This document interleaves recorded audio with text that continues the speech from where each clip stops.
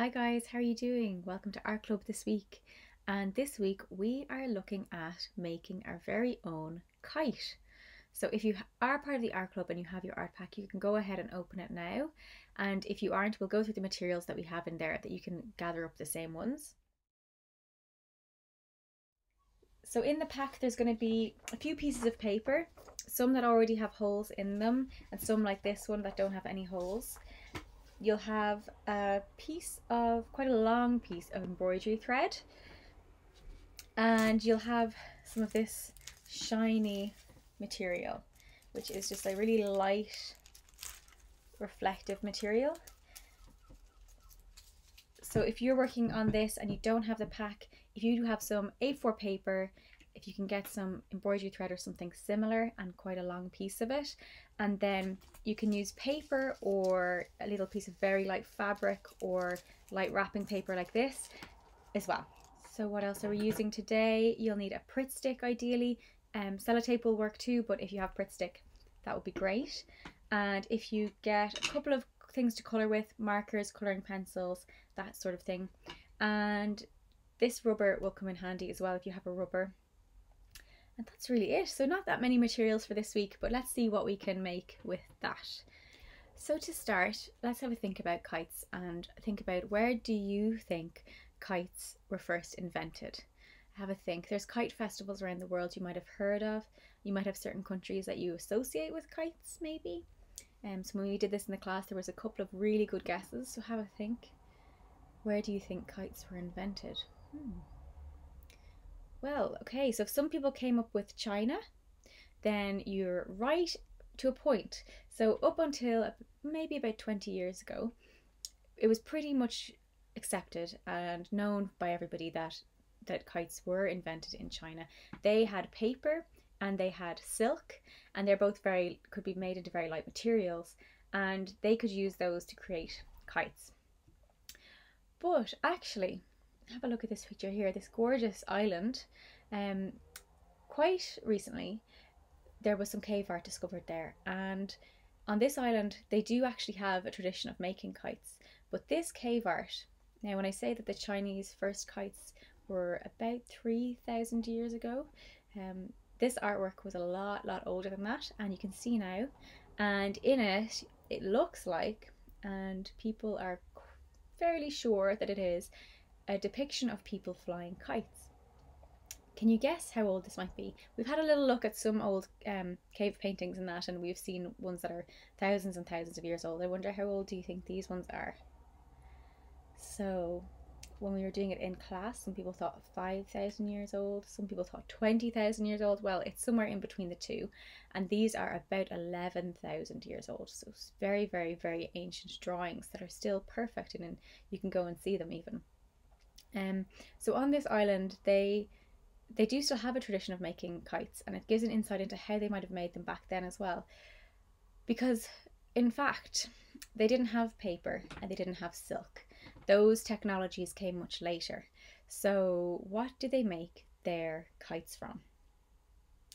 Have a few guesses and have a think. In the class, there were some good guesses. Um, some people came up with the idea of wood, but we thought, well, maybe that's a bit heavy.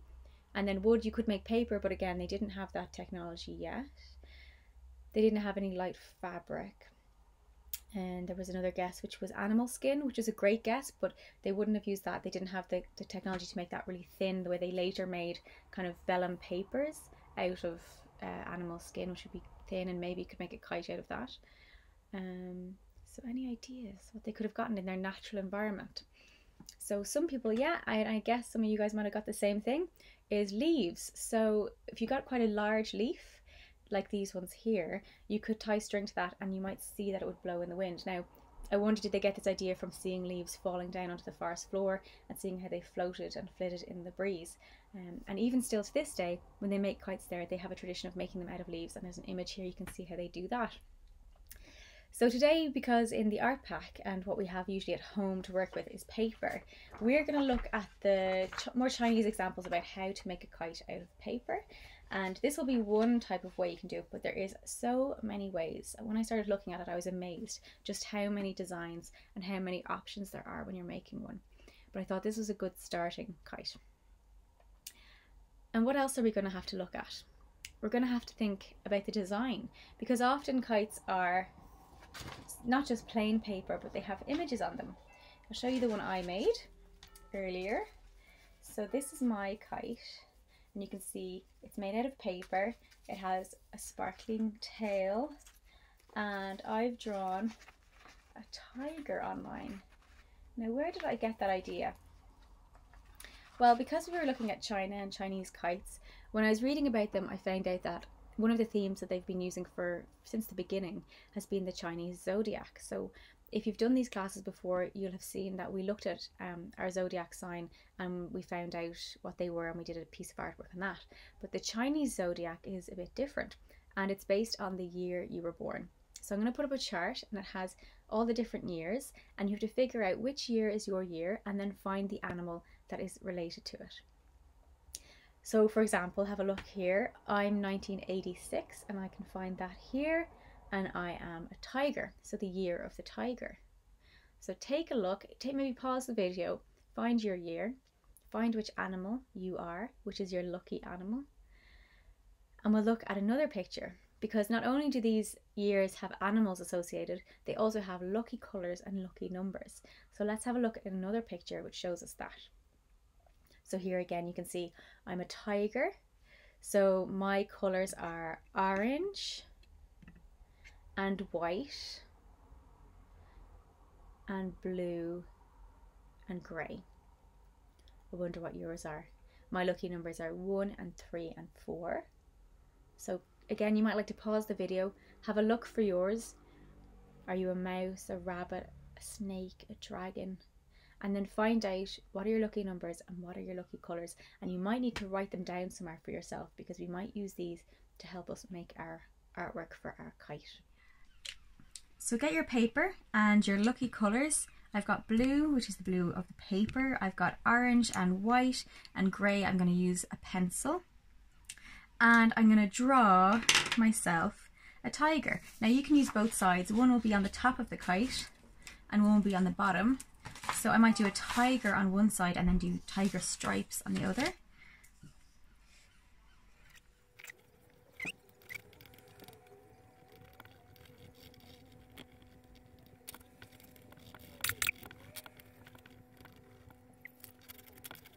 And I like this looks a little bit like a tiger mouth with sharp teeth.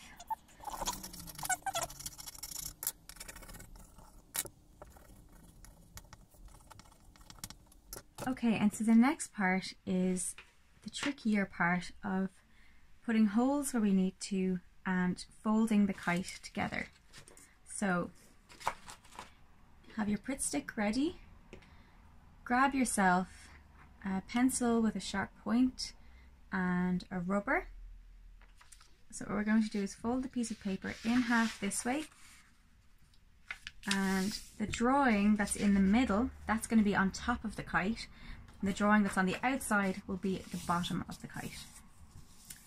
So you fold it in half then fold it in half again like that.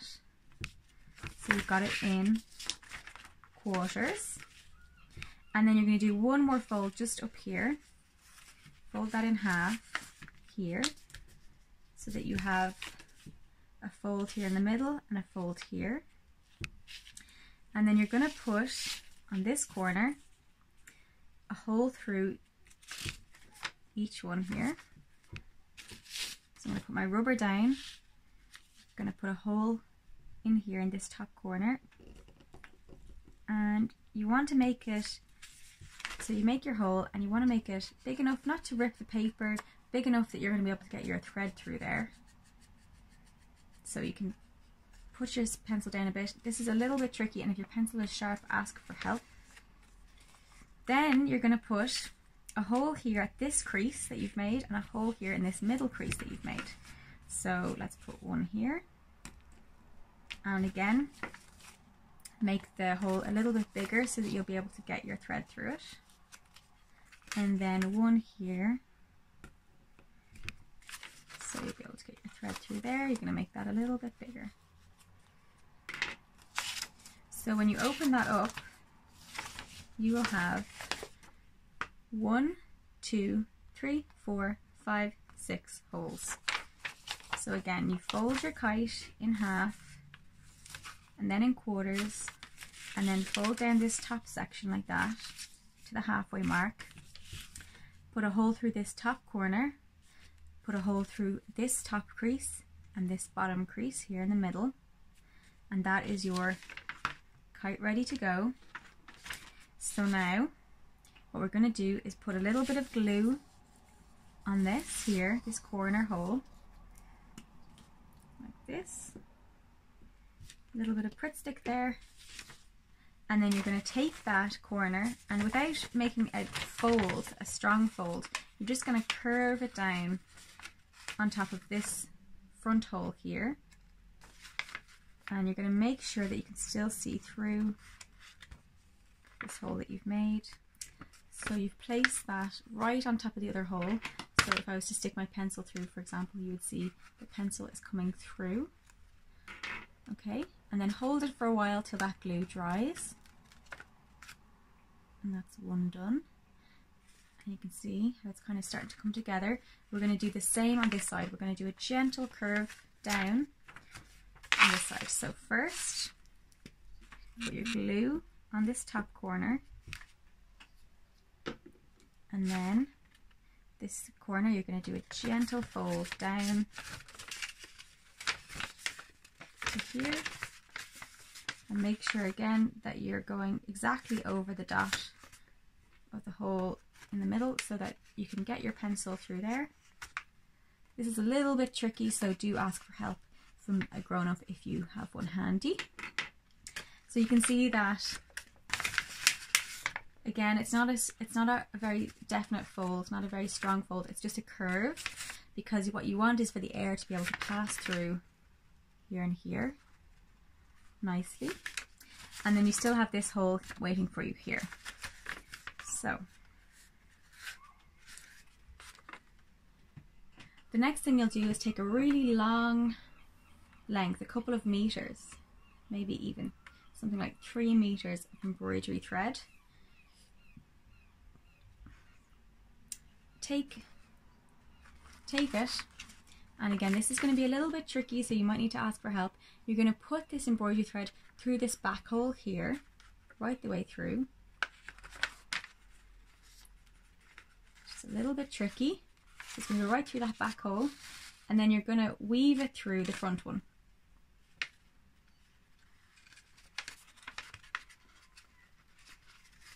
so you have your thread hanging out here it's in through this back hole, then out through the front hole, and then you're going to tie a knot this piece here onto here so that there's a knot in this first hole here. And you might need to double knot that.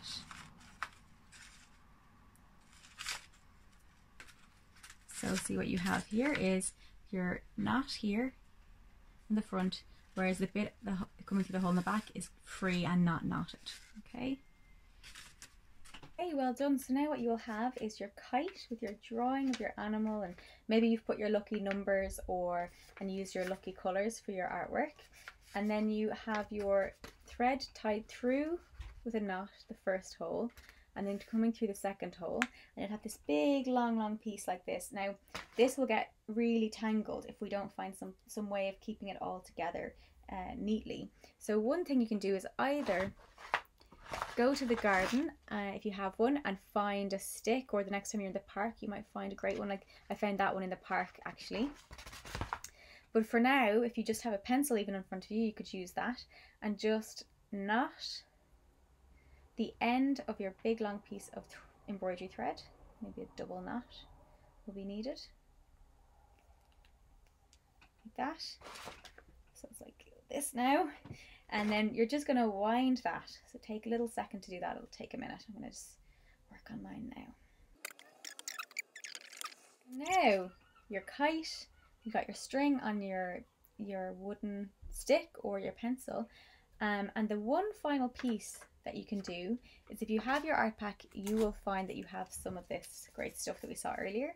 But if you are just working materials from home, something like a really light ribbon, light wrapping paper, or even paper, the same that you made your kite from. If you make really thin, long pieces, glue them together, you can make a tail for your kite.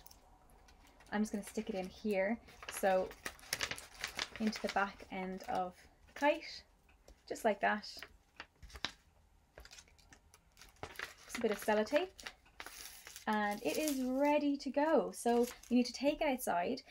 Today, for example, um, I can see outside there's not much of a breeze, but even if you go outside and you run with it, you're going to see your kite lift and you'll get to see it fly. So you'll have to do some running to get it going. But then if you can find a windy day um, and get outside where you've got lots of space, you can fly it. It'll fly really well for you. And that's it. So well done, everybody. Go have a play. Let us know how you get on. And if you want to share what you've made, that would be brilliant. And um, talk to you next time. Okay, bye.